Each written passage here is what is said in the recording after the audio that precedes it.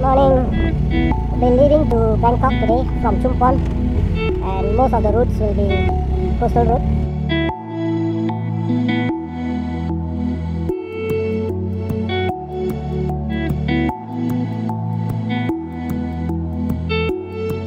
Okay, I have another 17 kilometers to go, which is roughly 23 minutes, or probably lesser than that.